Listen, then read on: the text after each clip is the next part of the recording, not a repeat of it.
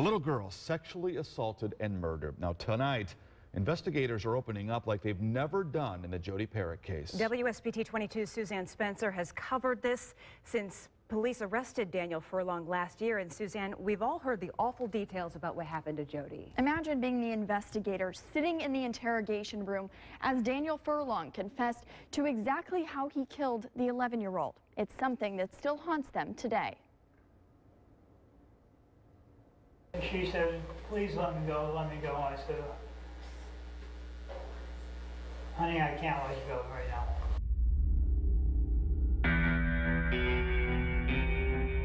Words that send chills down anyone's spine. You can't help but um, feel that in your own heart. That's something I will always remember.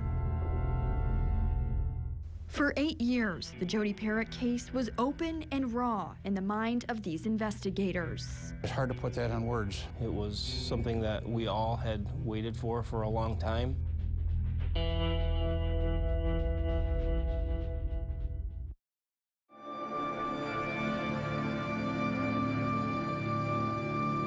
It was evening, November 8, 2007.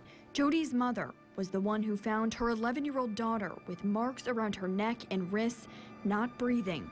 She was wearing the same black sweater she wore earlier that day. No trace of her killer. Investigators did find blood and saliva on Jodi's chest and sweater. Here's what police told WSBT 22 back in 2007. We have his DNA, and uh, we just want the rest of them. And we're going to find the rest of them. In 2011, Michigan's cold case team took over. More DNA tests than any other case in the state. 2,000 tips, four investigators. One of those, Trooper Brian Fuller. I have a daughter that is the same age as Jodi would be. And you can't help but um, feel that in your own heart as it relates to your own, your own personal being. July 2015, Daniel Furlong struck again. He lured a 10-year-old girl into his garage, tried to tie her up, and later admitted he was going to kill her. She got away. He was arrested and voluntarily gave his DNA. And for the first time, they had it to test in Parrack's murder. One phone call from the DNA lab, and Lieutenant Chuck Christensen knew. Tell me we got a hit. And she said, yeah, you're not going to believe it. We did.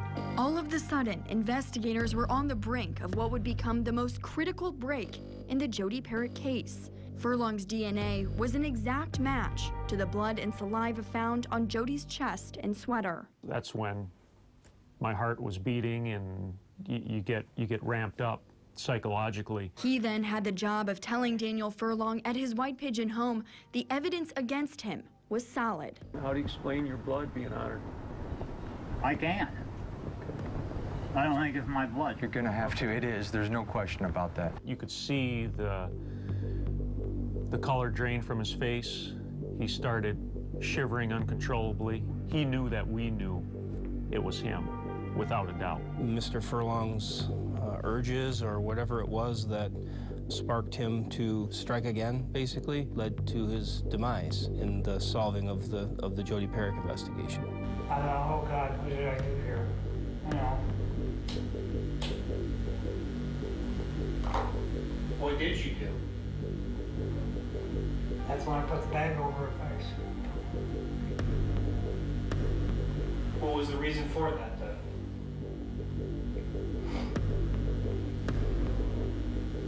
Probably to get rid of, not probably to get rid of her.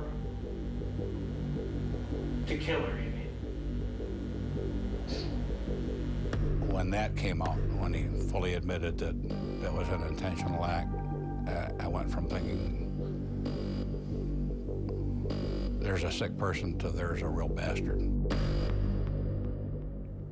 One of the really chilling things I heard throughout all of this, investigators asked Furlong if Jodi was targeted. He said no. When they asked him, had it been any girl, you were ready. He said yes. It's just absolutely, um, you know, it, very chilling thing to hear. It, it, almost takes your breath away to hear some of that. It does. It's hard to hear. And it sounds like there are still questions that need to be answered here with this. Right, and Jodi's mother has lots of those questions as well. We actually sat down with her and heard from her for the first time since Furlong was convicted back in January. What is it like now knowing that someone is behind bars for this? I'm glad that he's in there because, you know, what he, he killed her, and that's what I wanted was whoever killed her to be arrested. I know she had a lot of friends, and her death impacted a lot of people, not just her family. Furlong is also being considered in other open cases. I'm sure you guys remember Brittany Beers. She was the six-year-old who vanished from Sturgis in 1997. We're going to look more into this and tell you the two reasons why he's being considered a person of interest in her disappearance tonight at 6. Okay. Suzanne, we'll see you then. Thank you so much.